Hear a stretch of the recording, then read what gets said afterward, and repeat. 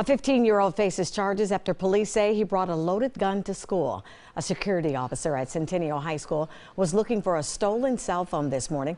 Investigators say that officer looked through video and saw a student pick something up off a table. That officer searched the student's backpack and found a loaded gun.